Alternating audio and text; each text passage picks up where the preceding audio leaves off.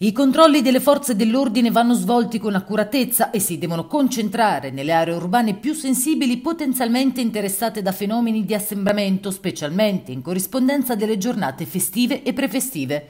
Lo chiede il Viminale in una circolare inviata ai prefetti che illustra le regole introdotte dall'ultimo decreto legge in vigore fino al prossimo 6 aprile. Il giro di vite è stato deciso per contrastare la diffusione del contagio e contribuire alla tenuta del sistema sanitario. Nel periodo pasquale poi serviranno controlli mirati lungo le strade di scorrimento extraurbano interessate da flussi di traffico più intensi.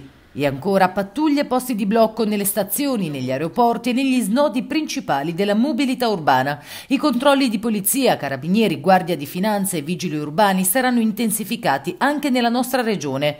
Il 3, 4 e 5 aprile tutta Italia si tingerà di rosso e l'autocertificazione sarà sempre necessaria.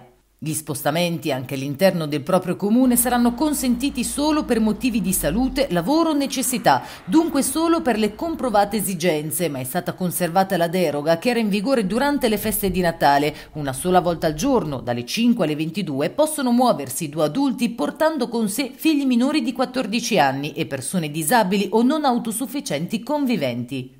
Potranno andare verso una sola abitazione privata a far visita ad amici o parenti, purché all'interno della regione. In ogni caso, sia in zona arancione che in quella rossa, per coloro che viaggiano in auto con persone non conviventi, al fine di garantire il distanziamento, è ammessa la presenza del solo guidatore nella parte anteriore della vettura e di due passeggeri, al massimo, per ogni fila di sedili successiva. Tutti gli occupanti della vettura devono necessariamente indossare la mascherina.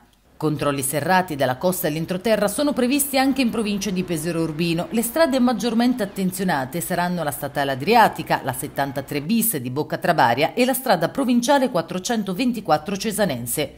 I cittadini che si spostano senza un giustificato motivo rischiano una multa da 400 a 1000 euro. Se pagano però entro 5 giorni l'importo della sanzione verrà ridotto del 30%. Scatta la denuncia invece se nell'autocertificazione si riportano dichiarazioni non vere perché la pattuglia può compiere ogni verifica. Un esempio, vengo denunciato se scrivo nel modulo che sto andando a lavorare e poi risulta che quel giorno sono in ferie. Il reato contestato sarà quello di falsa dichiarazione a pubblico ufficiale.